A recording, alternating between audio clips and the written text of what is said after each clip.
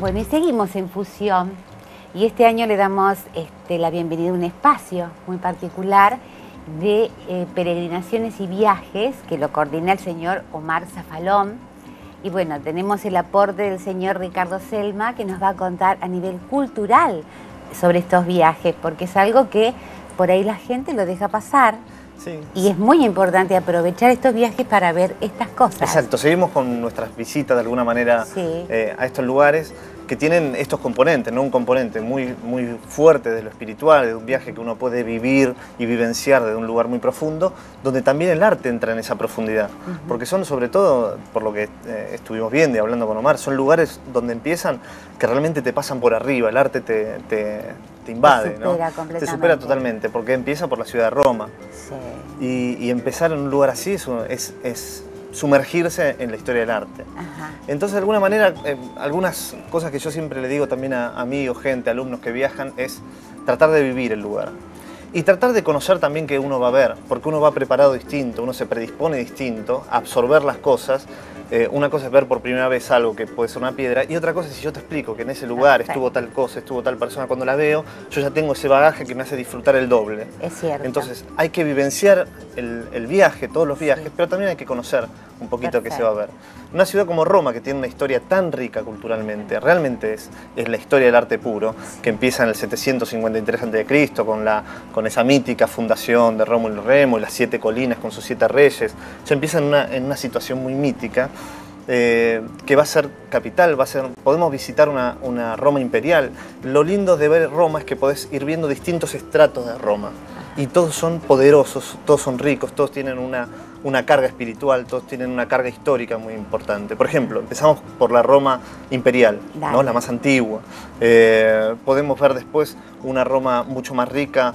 Eh, Roma fue también la capital de las peregrinaciones durante la Edad Media. las peregrinaciones iban, la mayor cantidad de gente que peregrinaba iba a Roma.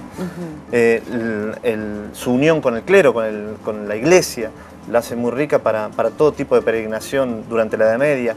Eh, la, reforma y la contrarreforma, que lo toman como capital después, y el barroco que se asienta ahí. Después podemos ver una Roma neoclásica, que de, hecho el neoclásico se, expande a todo el mundo desde ahí.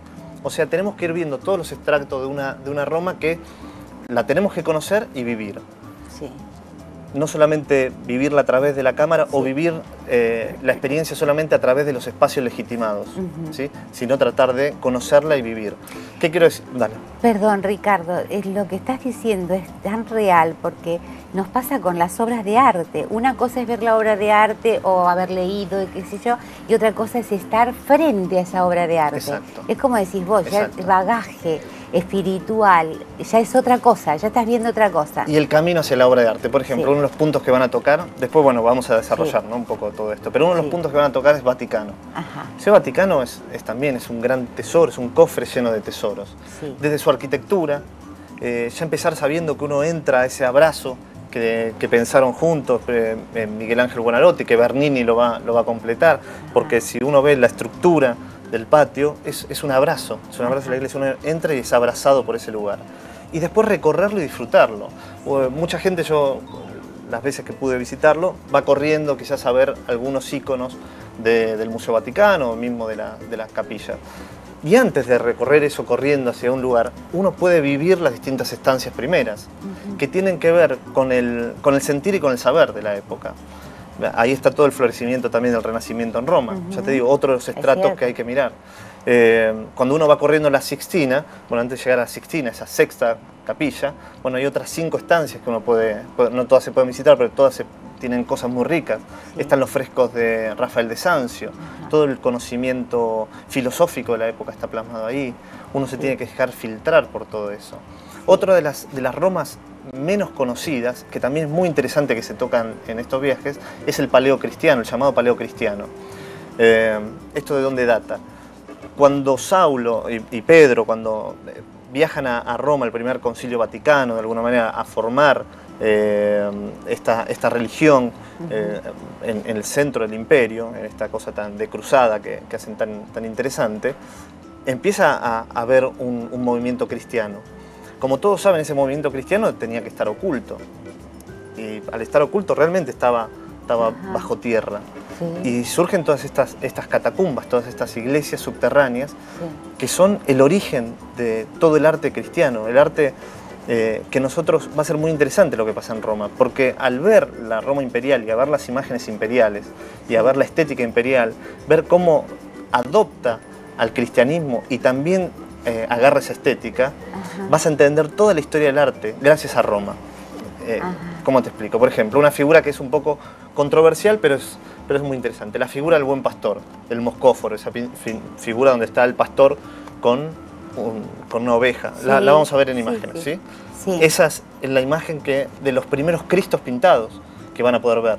Primeras imágenes de Cristo pintadas las van a ver en estos lugares y tiene que ver con esta formación del, del paleocristiano, que toma mucho de la estética romana, renovada con un montón de símbolos, con un montón de, guiños que solamente el cristiano iba a poder saber diferenciar como un nuevo lenguaje, por eso el pez, por eso todos los signos, símbolos encriptados que el cristiano solamente iba a poder ver. Las catacumbas, que es otro, eh, otro de, los, de los puntos que se tocan en los viajes, es interesantísimo porque nace el arte cristiano y solamente en Roma lo podemos entender, el arte cristiano y toda la historia del arte. Me encanta. me encanta. ya se nos fue, tenían dos horas para hablar No, pero tenemos que decir que estos viajes, está, uno ya prácticamente está eh, con el cupo ya limitado, pero se va a hacer otro, si no me equivoco, en el mes de mayo, ¿puede ser? En agosto, en el mes de agosto. Así que atención, atención, comuníquense porque realmente es fascinante, más todos los conocimientos que Ricardo le va a ir dando. Bueno, es como ustedes dicen, aparte es precioso y el señor Omar es un encanto para llevarlos e interiorizarlos en todo lo que es el arte y un poco de misticismo también y de vivenciarlo, vivenciarlo, exactamente. Caballero, me, me se nos fue volando, ¿no? Se nos fue volando, tenemos que después seguir por otro por otra parte que va... Vamos a empezar a hablar un poquito de esto que lo, hicimos como una presentación. Estas peregrinaciones y viajes.